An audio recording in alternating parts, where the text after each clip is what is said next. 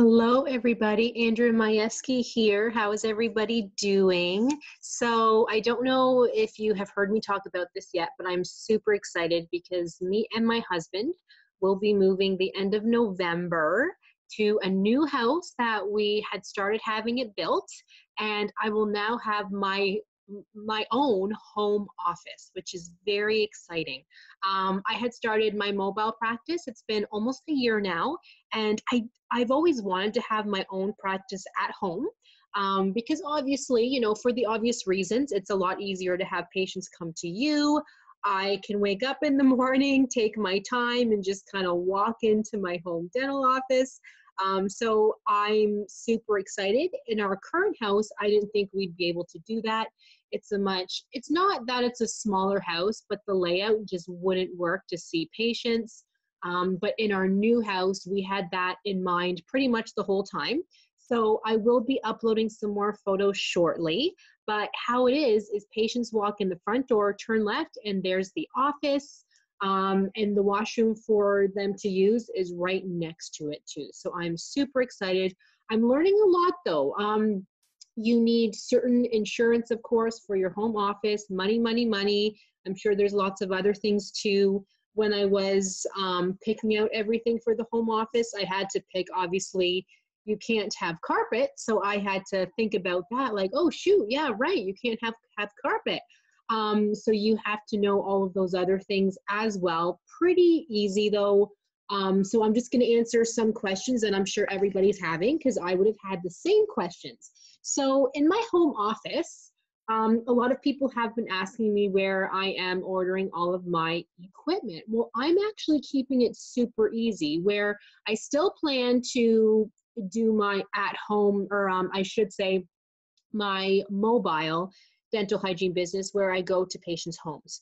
I don't want anything exciting for my home office, meaning I don't want to order a super expensive chair for the patients. I don't want a a built-in suction um, compressor, none of that. So what I'm doing is I have actually ordered, yes, a nice chair, but it's not a patient like dental chair.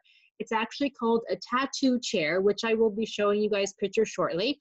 I am I am ordering that for my patients. It was about three hundred dollars, you guys. Yes, it's expensive, but not you know thousands. Um, so then that way I can have that in there. I currently use um, like a portable chair for when I go to uh, to patients' houses, but it's not the nicest looking, right? So I kind of wanted something more professional. So that's the main thing that I did order for my at-home um, dental office is the patient chair uh, the compressor unit, I'm just going to use the portable one that I currently have because I still am expecting to see more patients at their home because that's kind of where my business has has started and people always say that they appreciate me coming to their house.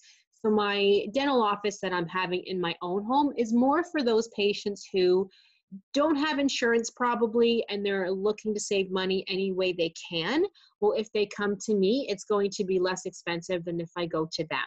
Plus the patients who might be hopefully in my area who are a, a walk away you know that would be perfect.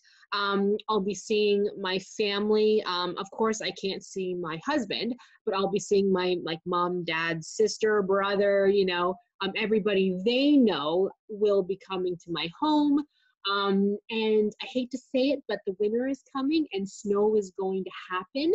Um, I don't plan to travel in horrible weather. So if patients get upset with me that I can't travel to see them because I'm, you know, it's a horrible snowstorm, well, at least I can offer that they come to me, right? So this is just kind of what I'm thinking. Um, but I'm super excited. So the only new thing that I did order for my dental office, home office, is that chair. So I'm really excited about it. Um, but everything else, I'm just going to use that I have already in my portable practice. So please um, feel feel free to reach out to me if you have any questions or any tips for me. I have actually posted in the group um, asking tips on insurance, anything else that anybody wants to tell um, tell me because a lot of you guys do have your own dental office at home And I've just never looked into it because I didn't think I would be doing that, to be perfectly honest with you. But now that we're moving, heck, I might as well. I'm really excited and I can't wait to show you guys inside my home office. Um, because I will be sharing all of that with you guys. So thank you so much for listening. And if you can offer me any advice, that would be fantastic. And I will talk to everybody very, very soon.